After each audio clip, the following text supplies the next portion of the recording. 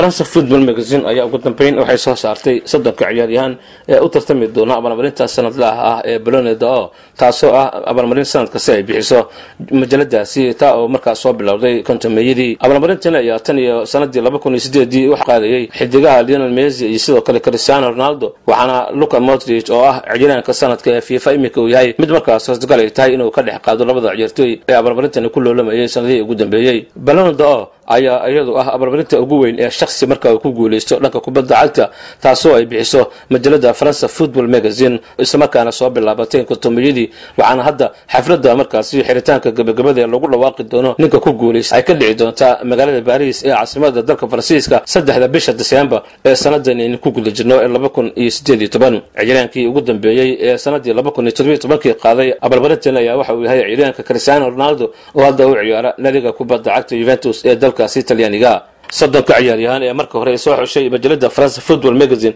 ayaa waxay markaa kaliyihiin ivan rakatich waxa uu ciyaaraa kooxda barcelona iyo xulka qaranka dalka croatia.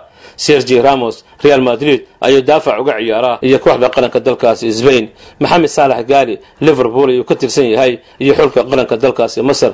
Louis suarez barcelona iyo xulka uruguay ayuu u ciyaaraa rafael fran real madrid iyo faransiiska ayuu ka tirsan yahay. Leonel messi barcelona iyo xulka argentin ayuu hogaamiyaa. Luca modrich waa ninka isagu qaaday abaalmarinta fifa. Real madrid iyo croatia ayuu u ciyaaraa waxaana xulkiisa uu gaarsiiyey heerka kamadambeysta finalka ee kuwabkii adduunka.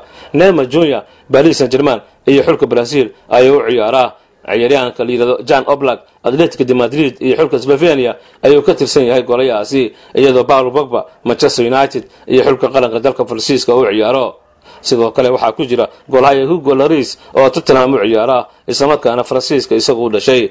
Mario mansukit juventus ayuu weerarka ugu ciyaaraa croatia ayuuna ka tirsan yahay. Sadio mane waa liverpool iyo xulka qaranka dalka senegal ee qaaradda africa marcelo real madrid iyo brazil ayuu ka tirsan yahay. Kaylan impape waa ninka ugu daada yar baris saint german iyo xulka qaranka dalka faransiiska ayuuna ninkani u ciyaaraa. Antonio grisman atletica de madrid iyo xulka qaranka dalka faransa ayaa laga soo xulay. Elin haza waa halbowlaha kooxda chelsea iyo xulka qaranka dalka belgiumka. Isco real madrid iyo xulka spain ayuu dhexda ugu ciyaaraa harry kane tottenham iyo xulka qaranka dalka england ayuu ka tirsan yahay waana ninka keliya england u dhashay ee halkan markaa liiska soddonka ku jira. Ingole kante chelsea iyo xulka qaranka dalka faransiiska ayuu ka tirsan yahay. Thiboa courtois chelsea iyo belgiumka ayuu goolka u qabtaa walow iminka uu tegay kooxda real madrid.